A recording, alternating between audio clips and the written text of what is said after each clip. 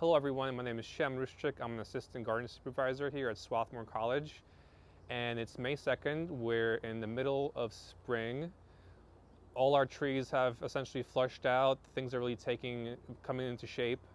And today we'll highlight some of the things that really caught my eye. Um, we'll talk about everything from herbaceous perennials, vines, woody shrubs, and trees. All right, so here we have Calycanthus raulstonii, Hartlage Wine.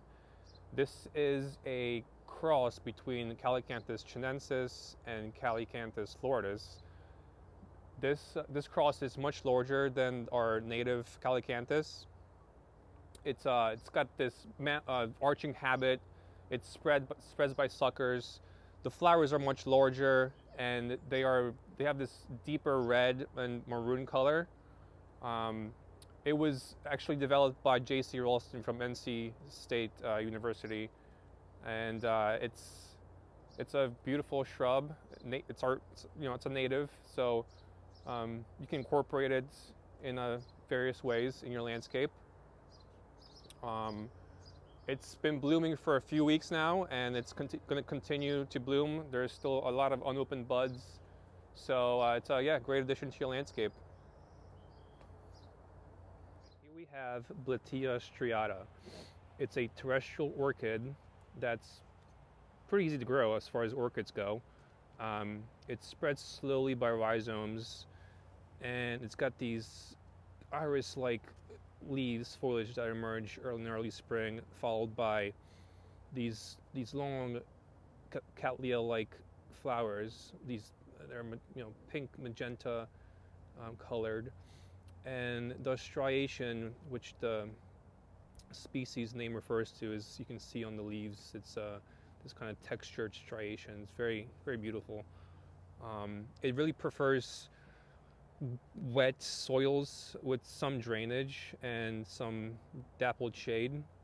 It will grow in um, six hours of sunlight and uh, produce more flowers in a more sunny spot, but you can, it's a very adaptable orchid and a great addition to your garden. Okay, here we have Aesculus glabra, variety Arguta. Uh, it's a small deciduous multi-stem tree. Uh, the, um, it's a white buckeye that has you know, beautiful pale yellow flowers on these large racemes. The leaves are palmately compound and they have leaflets with, with margins uh, that have this uh, very sharp serration, which kind of distinguish them from other buckeyes. Um, the flowers are fading a little bit, but they've been persistent for a couple weeks now.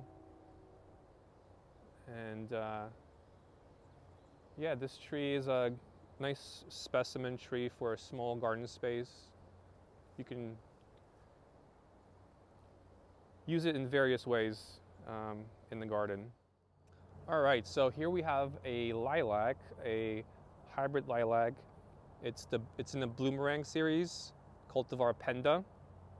And a lot of the lilacs are kind of fizzling out. You know, as you can see, this one's also not doing so well. The flower, flower's a little spent, but the cool thing about this one is you can uh, encourage flowering in the late summer, fall season by cutting out the flowers. And it is a reblooming one, so uh, it, it, has a long season of interest and it's got these sweet smelling flowers, very floriferous plant um, and popular amongst landscape designers. Um, it's, yeah, very easy to maintain and grow. So highly suggest using this in your, in your garden. Here we have a nice, really nice specimen of the Chinese fringe tree, Chionanthus uh, chinensis. This particular tree has beautiful white flowers that kind of uh, resemble an old man's beard. um, these are more fragrant than, than our native Chionanthus and the leaves are more glossy and the, the apex of the leaf is a little bit more pointed so also this tree gets much, not much larger, but slightly larger than our native Chionanthus. It's got a more rounded shape. This is called Kolkwitzia amabilis, commonly called beauty bush. It's a member of the honeysuckle family, uh, Caprifoliaceae, which uh, Weigela and Diervilla is also a member of. And it's grown primarily for these beautiful flowers. Actually, amabilis means lovely, so you can kind of see why it's the species is named uh, as it is. Uh, it grows you know, about, this one's about 10 feet tall. It's, it's a very old specimen. Um, it's got bell-shaped flowers uh, with yellow throats that appear in clusters. It's really got a profusion of mid-spring blooms from late April until May, like mid-May. Um, the leaves are broad ovate and turn and a, a slightly yellow in the fall. The the stems and bark exfoliate somewhat, so this does have a bit of winter interest as well. Um, this particular cultivar is Ruiz Pink, and it's pretty pretty special. We only have a few on in the collection of these. Davidia involucrata, also known as the handkerchief, handkerchief tree or dove tree. It's a deciduous tree native to China and can reach heights up to 80 feet in its native habitat. Um, the most outstanding feature of this plant are the flowers and what you actually are seeing are the, the white bracts that surround the flower. Right now, the actual flowers are kind of spent, so they're not very visible, but uh, the, the, the bracts are still persisting. And, you know, with these white flowers, they kind of get a bad rap because when they are spent, they look a little tattered, but um, they still uh, produce this beautiful fluttering in the wind and give the, the plant motion. Um, this tree actually is a monotypic uh, species, so it survives from the Cretaceous period. It's about, uh, the fossil records dated back to 100 million years ago. So it's a very unique tree. It's used pretty extensively in garden design. Uh, it does have a small hardiness zone, so uh, it's hardy to zone 6 and won't really grow past zone 8. So it's um, a little finicky, but uh, in, its, in the proper location, it does great and really produces a, a beautiful scene in the garden. Okay, so here we have Styrax obassia, the fragrant snowbell. It's a deciduous tree species in the Styrax, Styraceae family, native to Japan. Halesia is also part of that family group. Um, it's really highly regarded for its flowers, but it's got this beautiful rounded crown, attractive bark, just, uh, just a handsome tree overall. But as you get closer, you can see the, the white flower, pendulous flowers that are just opening up. They're very fragrant. The leaves are ovate. They have entire margins. They're slightly coarse a little bit, but uh, the flowers are one of the main features of this plant. They, like I said, they are fragrant and they are just cover, covering this whole tree. If you can look underneath the canopy, you can see the beautiful branch structure and uh, the handsome trunk and root flare as well.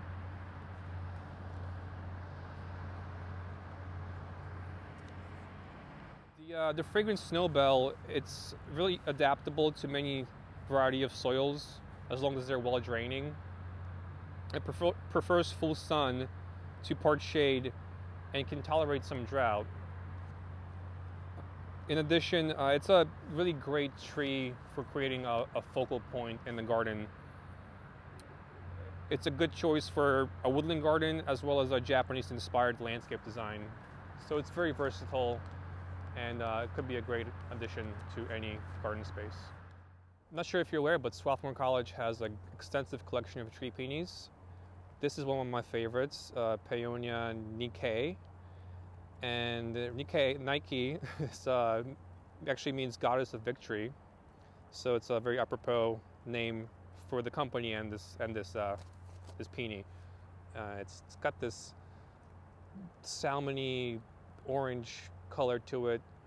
Uh, it's a it's a double flower, and the in, inner petals kind of create this cup shape around the, the stamens. Um, it was bred by Daphnis. He was he got the germplasm from from Saunders and Gratwick, um, upstate New York, and the first flower of this peony was produced in 1976, and uh, it was in, introduced until 1985. But yeah, this one is still persisting. A lot of the other tree peonies are kind of fading and on their way out, but uh, this one is still doing its thing. This cornus is a, an old specimen, and I just wanted to highlight the flowers are fading like all white flowers do. This is why they get such a bad reputation because when they start fading, they're they turn brown, they look kind of tattered and spent. But uh, Cornus florida is one of our most prized native uh, understory trees. It's used extensively in woodland gardens and as a, a specimen tree even.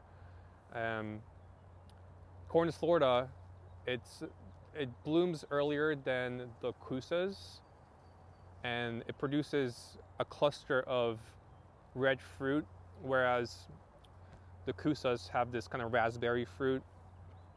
Um, these, these plants are, they turn a beautiful red, deep red, kind of purpley almost in the fall. So the Cornus florida flowers, the bracts are much larger than the, um, the Chinese kousas. Also, you can distinguish them by the bark. An old specimen of uh, Cornus florida has this kind of alligator bark, uh, whereas uh, Cornus kousa has more of um, exfoliating bark. And I already talked about the fruit differences, so you can you can really they're pretty distinguishable by those features. Lonicera sempervirens, superba. Um, stunning vine featuring showy scarlet red tubular flowers with yellow throats. It, uh, these trumpet flowers attract hummingbirds. So if you're a fan of hummingbirds, definitely grow this. Um, it needs it needs some kind of it needs supports. It won't climb by itself, so it needs some kind of structure to uh, support itself. Um, the foliage doesn't have any particular spectacular full color but uh, the main attraction are these, these flowers. And here it's growing next to Bignonia capreolata, Tangerine Beauty. And this vine is much more vigorous. It does have tendrils that attach to uh, pretty much any surface. It will grow up to 30 to 40 feet. It's, it'll grow on top of the roof if we, if we let it. But uh, yeah, right now you can see the profusion of flowers on this vine. It's a very attractive vine that um, is kind of under, underutilized in my opinion. Um, it's very similar to trumpet vine. Uh, so if you want something little, little different, a little bit more attractive, in my opinion, choose Bignonia capreolata tangerine beauty. So Choisya X DeWittiana Aztec Pearl is nicely situated here in the fragrance garden. And every time I'm working in here, and this is in bloom, people just have to stop and smell these flowers. They're just this heavenly, beautiful scent. And you know, this past weekend we had a lot of heavy rain and wind, so flowers are once again, these white flowers are looking a little tattered and, and, spent, but it's still putting on a good show and producing beautiful scent. Um, this particular plant is a it's, it's been cross-modulated with um, Choisya ternata and Choisya dumosa. So it's um this one's got a, a compact size. It's very easy to maintain. Um, all we do really is do some light pruning on it to get it off the path. And you know, you can prune it right after it flowers to kind of uh, make sure it uh, produces a good amount of flowers for next season. Um, and yeah, one of its most outstanding, uh, outstanding features is its ease of cultivation. It's very low maintenance, like I said. It's adaptable to many soil types and pH levels. Um, this the fragrance garden. It's it's a, a somewhat um, it's got a somewhat a microclimate. So this is marginally hardy to this area, but since it's kind of protected in this little courtyard, um, it does well, very well for us. So just make sure if you're one select this for your garden that you are keep it protected in a nice nestled uh, area. Another white flower tree. What do you know? uh, this is Crataegus viridis, winter king, or the green hawthorn. It's in the rose family, and you can see a beautiful profusion of rose uh, rose type flowers. They're held high on the branch, um, five petaled, which is a distinguishing feature for rosaceous flowers. Uh, it's you know used ex pretty extensively as a street tree um, because it's of its adaptable features in the soil and uh, in, the, in, the, climate. The bark, it's got some winter interest. It's, it's kind of brownish, grayish, exfoliating bark, which is pretty attractive. Uh, the, the leaves are simple. They have some a little bit of serration to them and pretty deeply lobed as well. It's um, this tree will reach heights of about 30 feet. It's got a rounded, somewhat rounded crown. Okay, so here we are in the gravel culture beds. Uh, this is Baptisia lemon meringue. It's a cultivar of our Baptisia australis, the false indigo. And really, this is like one of my favorite perennials. It's just a beautiful plant. It's got this beautiful upright form. Pretty much every feature of the plant is attractive. The stems have this kind of grayish blue tint to them. Um, they complement the leaves. The flowers have uh, this purple tone to them and then are accentuated by the, the yellow petals. Um, yeah, this plant is just a, a, an outstanding performer. It has really, really no issues. Um, you can divide it in the spring and move around, but um, it will take a couple years if, um, if you divide it and have a small patch. Uh, so it needs a couple years to really bulk up before it flowers, but it's well worth the wait. Um, yeah, and these gravel culture beds, you know, these, these plants that are grown here, they're drought tolerant. They don't really require too much water. Um, so yeah, easy to grow, and easy to maintain. And in addition to these flowers, the, the seed pods um, are very attractive as well. So yeah, just uh, overall outstanding plan, long season of interest, and highly recommended for your garden. So keeping up with the theme of white flowers, here we have Halesia diptera, uh, the two-winged silverbell. It's a native tree to, it's native to our southeastern United States and it's a understory tree that's here we are using it in the west circle garden. So it's growing underneath our big elm trees. And it's a you know it's prized for its pendulous white flowers. Um, they, they've been blooming for a while now. They're kind of fading but they're still putting on a great show and it's the common name. It's it's named for its two-winged fruit it produces, uh, which resemble a small airplane or helicopter. Um, they contain two seeds. Um, the bark is gray brown, has a rough, rigid texture, and it's an important source for wildlife. um, the seeds and the fruit. Um, it does have a, a, relatively short lifespan, about 30 to 40 years. Um, so we do our, we do have young ones planted in this garden that will, you know, kind of uh, take over this one once this one fades away. But it's pretty easy to grow. Hardy to USDA zones five to nine. And uh, yeah, it's just it's a great addition to this woodland garden here amongst the azaleas, rhododendrons, and um, all the herbaceous perennials that are currently flowering.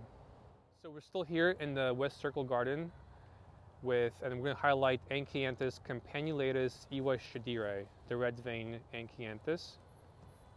This shrub is a member of uh, the ericaceous family, so does prefer slightly acidic soils. But this really stands out to me right now for these beautiful pendulous red flowers. They really are putting on a show right now. Uh, in addition to the flowers, in the fall, this this plant really produces beautiful red foliage. That's also an outstanding feature of this plant. Um, yeah, it's a great addition to a woodland garden, as you can see. Like it's amongst the rhododendrons and azaleas. It uh, really stands out on its own. Okay, another white flowered tree. This one is Chionanthus virginicus, our native fringe tree. And uh, we talked about the Chinese fringe tree. You know, this one you can see it's it has a profusion of flowers that are smaller, um, whereas the Chinese fringe tree, it's they're kind of singular. This has just the whole branch is almost covered in in uh, flowers, and it's it's more irregular shaped, smaller than the Chinese fringe tree. The the flowers are also a little less fragrant, but uh, I think uh, this this makes up for it with just the amount of flowers it has. And kind of like the handkerchief handkerchief tree. Um, it's kind of it has a movement when when the the wind blows. It just kind of nicely blows in the wind. So, yeah, really one of my favorite native trees um, that we have. Well, thank you so much for joining us on the May highlights tour.